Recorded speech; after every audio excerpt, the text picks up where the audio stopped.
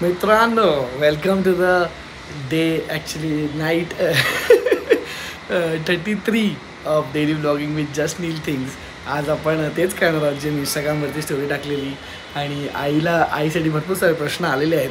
So आज आपण तिला विचारणार आहोत आणि त्याची उत्तरं तुम्हाला मिळणार आहेत. आणि हाच आपला आज ब्लॉग असणार आहे. ॲक्च्युली आज आपला ब्लॉग शॉर्ट असणार आहे. आता मला माहिती नाही बोलतो आहे पण मे बी मोठा पण होऊ शकतो. कारण की बाकी काही शेअर ऑफ द डे वगैरे आज आपण करणार नाही आहोत. मी आधीच सांगतो आय एम सो सॉरी कारण की उद्या एक स्पेशल डे आहे आणि त्याची तयारी आम्ही आत्ता करतो आहे त्यासाठी मी इथे आलो आहे आणि ते उद्याच्या ब्लॉगमध्ये तुम्हाला काय आता नाही सांगू शकत. पण इंटरेस्टिंग तर असणार आहे ब्लॉग. चला लगेच जाऊया आणि लगेच सुरुवात करूया. सो मित्रांनो आपण घेऊन आलेलो आहोत मम्मीला आपल्या व्लॉगवरती तुमच्या प्रश्नांची उत्तरं द्यायला. सो बऱ्याचशा फॅन्सनी काही प्रश्न विचारलेत. मी असं त्यांना बोललेलं की तुम्हाला काय माझ्या आईला प्रश्न विचारायचे तुम्ही मला विचारा. ते मी तिच्यापर्यंत घेऊन जाईन. मी दहा प्रश्न त्यातले जे चांगले आहेत ते सिलेक्ट करेन. ठीक आहे म्हणजे आपलं ओव्हरऑल लहानपणापासून असे ओव्हरऑल असे चांगले प्रश्न काढलेत मी जे इंटरेस्टिंग आहेत आणि तुला पण उत्तर द्यायला आवडेल आणि त्यांना मेन म्हणजे ऐकायला आवडेल. सो पहिला प्रश्न आहे अथर्व बडे ह्याच्याकडून नमस्ते काकू हा त्रास देत होता का तुम्हाला लहानपणी? बालपण कसं होतं ह्याचं हा एकदम नॉर्मल मुलगा होता. म्हणजे काही त्रास तसा दिला नाही. त्यामुळे बालपणीचं म्हणजे व्यवस्थित घे. त्याला काही मी मारलेलं वगैरे तेवढं नाही फक्त अभ्यासापुरतं मारलं. बाकी त्याच्या वागण्यावरून किंवा वर्तणुकीवरून मी कधीच त्याला मारलेलं नाही. समजलं? असं काय मी सांगितलं ती स्वतःहून बोलत्या. तू बाबा बोल पहिले की स्वतःहून नाही, मला हे प्रश्नच माहिती नव्हते. त्याने मला आता माहिती नाही त्याने आता मला पकडले आणि डायरेक्ट सुरू केली मी एकदम मला माहितीच नाहीये काय चाललंय. तुम्हाला जसं मी बोलतो एकदम आपलं ऑथेंटिक आणि रॉस तर तिला काहीच माहीत नाही काय होतंय कसलं मी लावलो तिथे बस मी तुला प्रश्न विचारणार आहे. ते पण आत्ता सांगते सो आता पुढच्या प्रश्नाकडे जाऊया. आपण पुढचा प्रश्न विचारलाय पियुष निखाडेने की तुझी मॉम म्हणजे मला विचारलं ॲक्च्युली तुझी मॉम नेहमी इतकी चिल होती का? आणि मार कित्येकदा खाल्ला आहेस तू. नाही चिल मी अशी पण बोलले मी. चिल होते मी फक्त मला अभ्यासात कारण मी टीचर असल्यामुळे मला असं वाटत होतं की माझ्या मुलाने डॉक्टर इंजिनियर जसं बाकीच्यांचं तसं मलाही अपेक्षा होती ना. त्यामुळे हा. अभ्यासात मला चांगलेच मार्क हवे होते. त्यामुळे ओपन डेला वगैरे वातावरण तंग असायचं आमच्या घरचं आणि परीक्षेच्या वेळेला. मग ते एक दोन तीन कधी रात्रीचे किती पाठ मी स्वतः पाठ घ्यायची क्लासला गेले तरी पाठांतर शाळेतून आल्यानंतर मी घ्यायची. त्यामुळे ते घाबरूनच असायची. तो दोन गालावर असे हात घेऊनच बसायचा. असे मी पोझिशन इथे बसलो इथे आणि अभ्यास घेते. तर इथे असं पुस्तक असेल तर मी या हातात पुस्तक पकडायचे उजव्या हाताने. आ- एक हात असा असायचा असा. आणि कधी पण मारायची साठ करा. एक असं असे उत्तर फक्त त्याच्यावर मी एक रील पण केली खूप आधी. फक्त काय? फक्त अभ्यासापुरतं. बाकी तसं बाकी नॉर्मल खूप चिल होतं. आम्ही सगळंच करायचो. डान्स ड्रॉइंग सगळं. मस्ती सगळं. त्याचं काही टेन्शन नव्हतं. सो पुढचा प्रश्न आहे मनीष कमोद ह्याच्याकडनं. तुम्ही कधी असा विचार केला होता लहान असताना की मोठा होऊन नील असं काहीतरी करेल जे तो आता करतोय? नाही नाही. अजिबात नाही. या खरंच बोलायचं तर हे आम्हाला आवडत पण नव्हतं की याच्यामध्ये काय नाटकं आहेत सगळी थ्रिल आहे असंच वाटायचं. म्हणजे ह्याच्यातून काय उत्पन्न होणार आहे? म्हणजे पैशाच्या दृष्टीने म्हणते मी. असे एरवी आणि हे नवी आमच्यासाठी आमच्या पिढीला अजूनही ते जरा वेगळंच वाटतंय आणि नवीन आहे. म्हणजे आता अजून पण लागलं. आता कळतं अजून पण बऱ्याच गोष्टी समजत म्हणजे की- एवढा असा पैसा येतो हे आम्हाला विश्वासच बसत नव्हता पण आता ते घरात असल्यामुळे थोडं थोडं बोलणं होतं आणि थोडं आम्हाला कळतं. अजूनही पूर्णपणे आम्हाला कळलेलं नाही आहे बाहेरच्या जगाला म्हणजे आमच्या पिढीला हे अजूनही माहिती नाही. काय पैसे किती कमवत असेल? म्हणजे कल्पनाच नाही करतायत. काय मिळत असेल हो? असं. पण मग आता याच्यावर मला एक प्रश्न सुचला त्यासाठी की एवढा पैसा येतो असं तू बोलतेस. आय अग्री की पैसे व्यवस्थित येतात आणि भरपूर पैसे कमवतो मी. पण तुला असं वाटतं की प- मेहनत करून हा म्हणजे जो पैसा येतो त्याच्या अगेन्स्ट जी मेहनत आहे ती तेवढी आहे की कमी आहे? काय वाटतं? खूप इंटरेस्टिंग क्वेश्चन आहे. आहे. मेहनत आहे. कुठली गोष्ट काही छोटीशी छोटी गोष्ट घेतली ना कारण मी स्वतः पाहिले रिटेक किती होतात? कारण मी पण आधी त्याच्यासोबत करत होते. त्यामुळे मला माहिती आहे एक एक छोटे म्हणजे ते किती सेकंदाचे किंवा मिनिटाचे आहेत. पण त्याच्यासाठी दिवस दिवस घालवावा लागतो. पुढचं त्याच्या पुढे एडिटिंग आहे सगळ्या गोष्टी आहेत. जोपर्यंत मनासारखं होत नाही तोपर्यंत ते करावंच लागतं. म्हणजे मेहनत आहे मेहनतीला पर्याय नाही आहे बरोबर. सो असं ते आलेले पैसे वर्थ वाटतात. असं नाही वाटत की जास्तच पैसे मिळतात किंवा अरे एवढे. पैसे कसे मिळतात? मेहनत? आहे टेन्शन आहे सगळं आहे. मान्य आहे ते. बरोबर. बरोबर. बरोबर एक मला असं वाटलं की हा एक प्रश्न चांगला मुद्दा होता याच्यावर काय मत आहे मला पण ऐकायचं म्हणून मी विचारून घेतला. दुसरा प्रश्न पुढचा प्रश्न आहे केड्रिक कडनं. आता मला पण नाव एक्झॅक्ट मी नसेल उच- उच- उच्चारत तर सॉरी आई लग्नानंतर मी बदललोय असं तुला वाटतं का? कोणाचं विचारतो नीलचं की स्वतःचं विचारतो नाही नाही. अरे म्हणजे तरी असं असं म्हणणं आहे की तू असं विचार. ते मी तुला विचारते की आई लग्नानंतर मी बदललो असं तुला वाटतं का? जाऊ दे हा विषय वेगळा आहे. ए! त्यामुळे तुम्ही इथे मांडत अरे बाबा असं नाहीये. म्हणजे नाही बदल आता मी मुलगा आहे ठीक आहे. आणि लग्न झाल्यानंतर काही ना काहीतरी माणसामध्ये बदल होतो. म्हणजे पुरुष म्हणून म्हण किंवा मुलगा तुझा मुलगा म्हणून किंवा कसंही. तर वाटतोय का असं काय? इन जनरल उत्तर दे. एकदम तुला डिटेल नाही विचारलं कोणी. त्यांना एक पर्स्पेक्टिव्ह हवाय. तर त्याला वाईट वाटेल केटरिंगला त्याचं उत्तर नाही घेतलं. सॉरी मुलगी आहे ती बघ. केड्रिक जी. हे नाव असं ठेवलं सॉरी सॉरी अगं. अगं सॉरी नाही वाटतं असं. प्रत्येक आईला वाटत असतं की एक नवीन व्यक्ती लाईफमध्ये येते. असतं थोडंसं असतं. होतो बदल झाल्यासारखं वाटतो. कुठल्याही आईला वाटत असतो. कारण थोडंसं मनाविरुद्ध. यापूर्वी तो एकटा आईचा असतो. आता तो बायकोचा झालेला आहे. त्यामुळे थोडंसं असं असतं. दोन्हीकडचं ऐकावं लागतं त्याला. त्यामुळे थोडंसं आईला असं वाटतच असतं ना.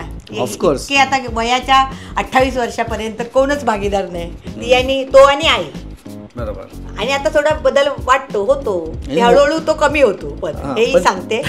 बदल तर होणार आणि हळूहळू- मध्ये एवढं मोठं झालं लग्न नावाचा एक. प्रकार झालाय तर त्याच्यानंतर आणि जर एक माणूस लाईफमध्ये आता म्हणजे आईच्या विचारामध्ये हळूहळू फरक पण पडत जातो. मान्य होत मान्य करावं लागतं मान्य होत जातं परिस्थितीत मा- आपल्याला म्हणजे आम्हाला पण खूप साऱ्या गोष्टी मान्य करायला लागतात. म्हणजे प्रत्येकालाच करायला लागतात. आमच्या मी नवीन हे म्हणजे हे. हिच्याबरोबर पण हिच्या लग्नात तर हिला पण असतं. किंवा पप्पांना पण झालं किंवा तुमच्या पण आई बाबांना झालं असेल. सगळ्यांनाच होतं. आणि नंतर इव्हेंच्युअली कळतं की हे असंच आहे थोडं- असंच असतं. थोडं वेळ गेल्यानंतर माणसाला कळतं पण. बरोबर. दोन्ही म्हणजे सगळ्यांनाच कळतं की नाही बाबा हो असं असं घडणारच आहे असं होणारच आहे म्हणून एक्सेप्ट करणं आहे. बरोबर. ठीक आहे. पुढचा प्रश्न आहे बिंग वैजू. हिच्याकडनं किंवा ह्याच्याकडनं सॉरी यांनी कपल फोटो ठेवला तर मुलगा मुलगी मला समजत नाही आहे नीलचं लहानपण कसं होतं काकू ह्याच्याबद्दल तर तिने सांगितलं पण त्याच्या पुढे काय की त्याच्यामध्ये हे कला कलागुण हे लहानपणापासूनच होते का हो? हो. त्याला सगळंच म्हणजे खरं सांगू का तो ऑलराऊंडरच सुद्धा आहे. म्हणजे काय नाही आहे त्याच्याकडे? सगळं आहे त्याच्याकडे. सगळे गुण आहेत सगळे. हा, म्हणजे तो माणसं पण जोडू शकतो उत्कृष्ट बोलू शकतो एखाद्याला गप्प सुद्धा बसवू शकतो. म्हणजे सगळे प्रकार तो सोडून. हा. म्हणजे आपण बोलतो ना बोलण्यात समोरच्याला गप्प म्हणजे बोलती बंद. असंही तो करू शकतो. म्हणजे तो लहान असू दे किंवा वयाने मोठा असू दे तो जेव्हा बोलतो ना तेव्हा त्याचे मुद्दे समोरच्याला पटायला लागतात. हे मला वाटतं पप्पांकडनं हा आलं असेल त्यांच्याकडून आलं असेल. मग आपण आधी म्हणजे असं आत्ता लग्न झाल्यानंतर सुद्धा बऱ्याच वेळा माझ्या बाबतीत घडलं. की हे असं का झालं असं काय झालं? नाही असं नाही करायला पाहिजे. पण जेव्हा तो समजावून सांगतो किंवा तो बोलतो नाही मम्मी हे असं असं आहे असं असं आहे तेव्हा मलाही मग ते पटतं. म्हणजे बाजू मांडल्यानंतर सांगितल्यानंतर पटतं. हा गुण विशेष त्याच्याजवळ पण आहे. हा कलाचा गुण नाहीये बोललं नाही, नाही, दुसरा सगळे गुण सांगितलं ना, विचारतो सगळे गुण त्याच्याकडे चित्रकला आहे नृत्य आहे वक्तृत्व आहे. नंतर काय म्हण नेतृत्व आहे. तो Leadership लिडरशिप सुद्धा करू शकतो. म्हणजे सगळे गुण त्याच्याकडे आहेत. कॉलेजमध्ये गेल्यानंतर मला समजलं की ऍक्टिंग पण ऍक्टिंग पण त्याचा आवाज पण वडिलांसारखा चांगला आहे. म्हणजे सगळे गुण त्याच्याकडे बघण्याचा दृष्टिकोन आहे. माणूस म्हणून सुद्धा तो चांगला आहे. वा क्या बात आहे. हा व्हिडिओ वेगळा काढून रीलवर टाकायची बात आहे. एवढी प्रशंसा आईने एकत्र सटा असत एका मागोमाग अष्टपैलू वगैरे म्हणायचं का तुला? अष्टपैलू. शब्द आठवत असेल तर सांगू टाकतो. चला पुढे जाऊया. पुढचा प्रश्न आहे तन्मय भागवत. हाय काकू प्लीज नीलचे लहानपणीचे एखादे लाजिरवाणे किस्से आणि किंवा गमतीदार किस्से सांगा. नील दादा I love your work thank you so much लाजीरवाणे किस्से तुला आठवतात का? मला एक दोन आठवत आहेत. खूपच बेकार लाज वाटते. पण ते तू सांग. जर तुला आठवत नसेल तर. मीच तुला सांगेन कुठला. लाजीरवाणी नाही बाबा मला आठवत एक विनोदी. तुलाच आठवत गार्डन मधला. नाही जो पण असेल सांग. नाही गार्डन मधला मला आठवतं. मी या दोघांना घेऊन चालले होते आणि त्या दिवशी नेमकं गार्डन बंद होतं. आणि समोरचा गेट आहे ना तो उंचच असतो ना. तर छोटा जो आहे तो बारीक. आणि हा चौथीपासून असा जाड होता असा. आणि छोटा पटकन बंद दरवाज्यातून त्या. गेटवरून ना त्या बाजूला पलीकडे उतरला. आणि गेला पण त्याने झोपाळ्यावर एक दोन फेऱ्या मारल्या सगळं सगळं केलं. आणि हा आपला व चढतोय चढतो आणि त्याला काय त्या पलीकडे आतल्या दिशेने टांगच टाकतोय. पायच. आता जाड होतो. मला आलं हसायला मला तर असं काही घडलं की पहिली मी असते. मी वरती अडकलेलो आठवत आणि चड्डी अडकलेली त्या अशा टोकावाला गेटमध्ये. आणि मी खाली बरेपर्यंत हसते मला हसायलाच येतं मला असं काय झालं की खूप पहिलं हसायला येतं. मग एक माणूस आला त्याने याला या बाजूला खेचून घेतलं आणि उतरवलं का म्हणजे आज आज काय मी शर्ट पर्यंत जाऊन मला अजून वाटत मी ऐकीच व्हाईट कलरची पॅन्ट घातली अजून गेला. आणि मी असं अडकलो वरती की मी आता ना गार्डनमध्ये जाऊ शकतो ना गार्डनच्या बाहेर येऊ शकतो माझी चड्डी अडकली त्या वियर्ड काहीतरी माझं एक पाय इकडे एक पाय तिकडे झालेलं. पण ते माझ्या पोटामुळे मला काय जाताना आलं. तर हा झाला गमतीदार किस्सा. एक मला एम्बॅरेसिंग म्हणजे लाजीरवाणा किस्सा आठवतो तेव्हा. तेव्हा मी लहान नव्हतो मित्रांनो मी दहावीत होतो. आणि माझ्या पोटात सेलो ग्रिपर पेनचं गेलेलं टोपड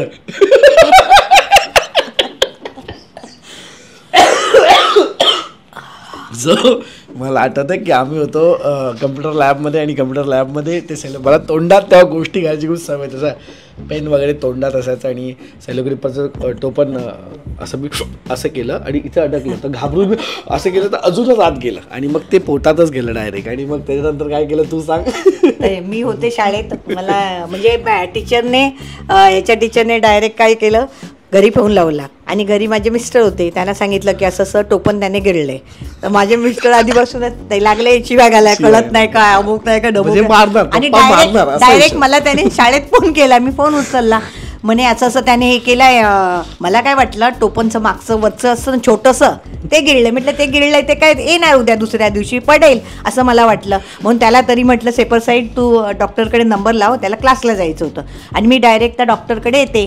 असं मी सांगितलं मी आपली उतरली स्टेशनवरून डायरेक्ट डॉक्टरकडे गेली आणि ह्यानी मला अशी सवय होती की यांच्यासाठी मी मस्जिदवरून पेना पेनाचा सेट वया वगैरे असं आणून ठेवायची भरपूर आमच्याकडे सारे, खूप सारे आमच्याकडे पेन वगैरे तर तो एक टोपण आणि पेन घेऊन आला होता आणि एवढं मोठं टोपण आहे त्याला स्टीलचं असं नाही नाही स्टीलचं नव्हतं हा. पूर्ण प्लास्टिक. सेलो ग्रिपरचं एवढं हा. होतं. आणि तो घेऊन आला आणि मी आपला असा तो आपला ताटच्या ताटकाने इथे उभं पोटात होतं ना. मग तो ताटच्या ताट असा होता. म्हटलं ते काय झालं? तर म्हणे माझे खिशातून काढून दाखवले बघ मम्मी एवढं माझ्या पोटात आहे. आणि एवढं मोठं असं पोटामध्ये मी पण घाबरले. मी आधी म्हटलं का वरचं छोटं असेल? मग मी त्या कंपाऊंडरला सांगितलं अहो आम्हाला हात सोडा त्याच्या पोटामध्ये बघ असं एवढं एवढं आहे.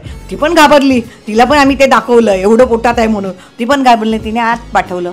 मग आमचा तो डॉक्टर राज पाठक अ, व्यवस्थित आहे. त्यांनी सांगितलं दो आम्ही औषध देतोय पण तुम्ही केळी मोसंबी असं फायबरचे मला. माझी सगळ्यात जास्त फाटली तेव्हा जेव्हा डॉक्टर म्हटलं की आता ते असं आहे तर ते असंच निघालं तर तुमच्या ह्याच्यातनं ते असंच बाहेर येईल. पण ते पोटात कुठे असं झालं तर मग मग मी मला आलं रडायला मला आता लागले. म्हणजे ऑपरेशन शिवाय पर्याय नाही ऑपरेशन करूनच ते काढावं लागेल असं डॉक्टर म्हणाले. आणि नंतर मी येतानाच चांगले अर्धा डझन केळी मोसंबी असं सगळं घेऊन आलं त्याला जेवायलाच नाही दिलं त्या दिवशी. त्या दिवशी त्यांनी अर्धा डझन एवढी मोठी मोठी अशी मोठी मोठीच केळी आणली ती अर्धा डझन एका वेळेला बसून खायला लावली आणि मोसंबी खाल्लं. त्याला जेवायला तो म्हणतो मम्मी मला उलटी यायला लागली त्या वासा वासाने दुसऱ्या दिवशी सकाळी उठवलं परत त्याला. आणि पुन्हा एक एवढं मोठं मोसंब अर्धा डझन केळी खा. त्याला जेवायलाच नाही दिलं. आणि मी शाळेत चालली होती याचा मला फोन आला. मम्मी पडलं. मी म्हटलं काय पडलं? मला आधी मी माझ्या ह्याच्यात मी म्हटलं, कसा पडला तू? कसा तो? बोलतो नाही पडला. आणि मला मी वॉशरूमला गेलेलो आणि मला मला आवडत नाही असं. काली वगैरे बघून. मग तुला आता कसं समजणार काय?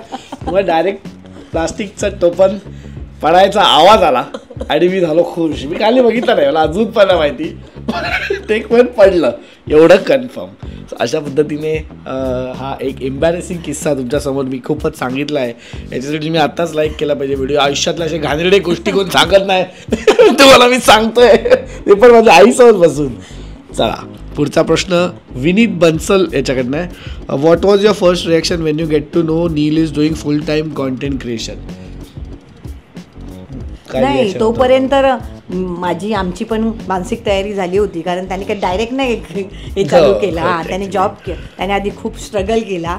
नंतर जॉब कंटाळून आम्ही मागे लागून लागून दोन जॉब सुद्धा केले. म्हणजे हेच असेच याचे आणि नंतर केल्यामुळे ठीक आहे. म्हणजे माहिती होतं आम्हाला. म्हणजे खरं सांगू तर मी फुल टाईम कॉन्टेंट क्रिएशन करेपर्यंत मी पार्ट टाइम जॉब करतच होतो. करत. तेव्हाही भाडीपात मी काम करत होतो. जॉब करून करत होतो. आणि ज्या पॉईंटला मला पैसे यायला चालू झाले ब्रँड डील्स किंवा फिल्म प्रमोशन्स पहिले पहिले चालू झाले. ब्रँड डील इंस्टाग्रामवर तेव्हा चालू होते झाले. फिल्मला प्रमोट करायला तुम्ही रील बनवा किंवा असं काहीतरी असायचं. त्यावेळेला जेव्हा पैसे यायला चालू झाले ते माझ्या पगारापेक्षा जेव्हा जास्त होते तेव्हा मी ठरवलं की आपण तर मी एका वेळेला दोन ब्रँड महिन्याला गेलो तर पगार डबल मिळतो. तर आपण जॉब सोडू शकतो. या बेसिसवरती मी फुल टाईम कॉन्टेंट क्रिएशन करायचं ठरवलं. तेव्हापासून तेव्हा मी आणि व्लॉगिंग पण चालू केलेलं. जस्ट आता झाले त्याला दोन हजार एकवीसची वीस वीस एकवीसची गोष्ट सांगतो तुम्हाला मी. सो पैसे आल्यानंतरच सगळं केलं त्याच्यामुळे मला माहीत होतं की मी असं डायरेक्ट असं नाही बोलणार बोलू शकत मम्मीला की आजपासून मी फुल टाईम कॉन्टेंट क्रिएटर कारण मलाच कॉन्फिडंट होतो वाटत. आणि मी खूप सेफ्टी आणि पैसे बघून सगळं मग डिसिजन घेतलं. त्याच्यामुळे असं कधी वेळ नाही आली असं सांगायची. तो तिच्यासाठी पण सगळ्यांसाठी स्मूथ पिरियड होता. मग सेकंड लॉकडाऊन जेव्हा बसलं तेव्हा मग मम्मीला पण मी कॉन्टेंट क्रिएशनच्या जर्नीमध्ये घेतलं माझ्या. तेव्हा तिला खूप म्हणजे घरीच असायचो सगळे तर वेळ होता. तर मग तिला पण हळूहळू हे समजलं आणि मग आम्ही तेव्हा पण भरपूर ब्रँड डील्स वगैरे करायचो सगळं व्हायचं. त्याच्यानी पैसे यायचे. तर मग सेट असं मला वाटलं की हे हेच कंटिन्यू करूया आणि कंटिन्यू झालं. त्याचा पुढचा प्रश्न आहे वरुण पवार याच्याकडनं. शेवटचा मम्मी मम्मीच्या हातचा मार कधी खाल्लाय? रील बनवतात. रील रील बनवतानाच खाल्लाय. तो जनरल नॉलेज वर ते एक एक काहीतरी तुझं हे आलं होतं आणि फेस बदलून लहान मुलाचं बनवत होता ना तू. तर ते केलं मम्मी आपण एक रीड करूया. म्हटलं ठीक आहे चल आपण करूया. तर मग त्यांनी सांगितलं की तुम्हाला जनरल नॉलेजवरचे असे पटापट प्रश्न विचार आणि आलं तर मार. हां तर मी पटापट प्रश्न विचार मग तो घाबरतो ना. मग मी त्याला विचार व्हॉट इज युअर नेम तर तेही पहिलं त्या- तो गोंधळतो ना असं पटापट प्रश्न विचार. तर मी खरोखर अशी दिली त्याला पट्टीने की इतक्या जोरात दिली. मम्मी काय जोरात मारलं तू? परत रिटेक झाला. आणि तेवढ्याच स्पीडने तेवढ्या जोराने परत मारलं. तू काय मम्मी तू जोरात मारते? एकदम रिअलिस्टिक ऍक्टिंग होत होती. आणि ती शिक्षिका असल्यामुळे तिला गोटा मार मारताच येत आहे हा तिचा प्रॉब्लेम आहे. चला पुढे जाऊया. पियुष घाणेकर तुझ्या आईचं लहानपण कुठे गेलं? आम्ही वडाळ्याला राहत होते मी. आणि त्याच्यानंतर सायनला. आणि अजून शाळा वगैरे पण? शाळा मी बी एम सी स्कूलमध्येच होते. कारण तेव्हा पहिली ते सातवीचं बी एम सी स्कूलमध्येच झालं. ते ते शिवडे वडाळा इस्टेट म्हणून वडाळ्याला बी जे टी आईच्या समोरच आहे ती चाळ. आता आई की नाही माहिती नाही. त्याच्यानंतर आम्ही सायनला झालो शिफ्ट. मोस्टली व्हिजिट याच्या इथे हा, तिथे. मला आठवत आहे. आम्ही अशी चाळच असायची ती. हां म्हणजे असंच मस्त मजा. अ, नीलची सॉरी इट्स देशमुख विचारतोय. नीलची फेवरेट भाजी. माहिती आहे तुला? त्याची फेवरेट भाजी म्हणजे त्याला बेसनाचा पोळा आम्ही म्हणतो बेसनाचा पोळा. त्याला- काही त्याला त्या हे पण सुका. झुणका वगैरे असं म्हणता तुम्ही. टोमॅटो ऑमलेट पण बोलतात हां. बरंच काय काय बोलतात. ते त्याला खूप आवडतं. म्हणजे त्याच्या पप्पांना पण आवड काय नसेल ना तर ते दिला आणि चपात्या घात दिल्या तरी बस. आपण आधी गावी टोमॅटोची चटणी. गावी जेव्हा जायचं आठवत हा. आहे एस टीतून तेव्हा तू बारा बारा असे चपाती आणि एक चण्याचा अर्धा चण्याचा पिठाचा पोळा असा रोल बनव. डब्यातनं पॅक फॉईल पेपर किंवा डबा. फॉईल पेपर तर खूप नंतर आले. आधी डबा. मग आम्ही ते तेच खात खात खात खात जायचं. त्याने यांची गॅस पण व्हायचा. नंतर मग टराटर टराटर बसून रात्री आणि तो ना घात बसायचा. सुका- बनवायचा घात बसायचा. मला एकदा जोक झालेलं गप्पा गप खूप आवडायला खायचो आणि गप्पा गप खायचो हातात मला एकदा चोक झाला बस एस टी मध्ये मी काढत बसलेलो असं ते. आणि हा टोमॅटोची भाजी ऍक्च्युली मला. खूप आवडते. खूप वर्ष झाली मी आता खाल्ली आपण. बनवलेच नाही टोमॅटोची भाजी. तिकडच्या ट्युलिप के ट्युलिप लास्ट बनवली असेल काहीतरी. मला आणि भाजी. टोमॅटोच्या भाजीमध्ये ऍक्च्युली ना मी कुठल्याही भाजीमध्ये फरसाण टाकून खाऊ शकतो. हा माझा एक म्हणजे मला फरसाणपेक्षा माझं डोक्यात असं असतं की एक ओल्यासोबत एक ओलं आणि नरम आणि सुकं आणि कडक हे. एकत्र करून खाय खायचं. असं माझं होतं. तर मला भाजी कुठली द्या त्याच्यावरती जर तुम्ही मला फरसाण दिला मी एक टाइम होतो वर दोन तीन वर्ष रेग्युलर एकटाच येतो मी दुपारी घरी. तर मी कुठलीही भाजी बनवा मेथी बनव काही. असायचं. मी फरसाणचा एक चिमूट अशी म्हणजे तुम्हाला भाजी दिसणार नाही फरसाणा खाली एवढी. पोहेमध्ये पण तेच सगळ्यामध्ये पण तेच. ॲक्च्युली बघायला गेलं तर कुठल्याही भाजीत फरसाण ही माझी फेवरेट भाजी आहे. आता मेन प्रश्न तो अनेक प्रश्न असे आलेले आहेत. त्याच्यावर तुला तर दाखवतो डायरेक्ट तुझी आई आजी कधी होणार? तुझ्या आईला कोण विचारणार? मला विचार माझ्या आईला विचारते? तुम्हाला काय करायचंय? बघून घेन माझं. नको ते प्रश्न विचारतो का सगळ्यांना सगळ्यांना इंटरेस्ट ह्याच्यातच आहे. सगळे मला ते प्लीज सांग तुमचा बेबी कधी होणार? प्लीज सांग हे बघ. When you are having baby please answer please का? तू येणार आहे? डायपर बदलायला. का तू येणार आहे लंगोट घेऊन शिवून? सगळ्यांना एकच नुसतात सिरियल चालू काय काय आई कुठे काय करते? तुम्हाला काय करायचंय? सो ॲक्च्युली या भागाचं नाव आई कुठे काय? नाही असं नाही. आई कुठे करते नाही जाऊ दे काहीतरी बोलतो जाईल सो येस मित्रांनो uh, हा होता uh, आपला आईसोबतचा पॉडकास्ट जे तुम्हाला बऱ्याच लोकांना प्रश्न विचारत होपफुली uh, तुम्हाला मजा आली असेल या एपिसोडमध्ये तुला कसं वाटलं? मला काय म्हणतो अनपेक्षित होते सगळं. मला माहितीच नव्हतं. आत्ता बोललं मला आधी काय वाटलं असेल काहीतरी माझा शूट करायचं असेल. कारण आल्या आल्या बोलला मला तो. मम्मी मला अर्धा तास द्या. मला असं काय तर हे मला वाटलं शूट असेल. मग तो बोलतो नाही. आणि डायरेक्ट मला त्यांनी प्रश्न उत्तरच विचारायला सुरुवात केली. सो असा असा होता आजचा आजचा व्लॉग कसा वाटला तुम्हाला मला कॉमेंट्समध्ये सांगा. आणि अजून काही प्रश्न असतील तर विचारून ठेवा. नेक्स्ट परत आपण ह्याचा पार्ट टू कधीतरी करू. आता लगेच नाही पण नंतर करू पार्ट टू तेव्हा जरा वेगळे प्रश्न पण घेऊ. आणि कॉमेंट्समध्ये सांगा कसं वाटलं आणि काय मजा आली तुम्हाला. भेट्या पुढच्या व्लॉगमध्ये तोपर्यंत सबस्क्राईब राईट नाव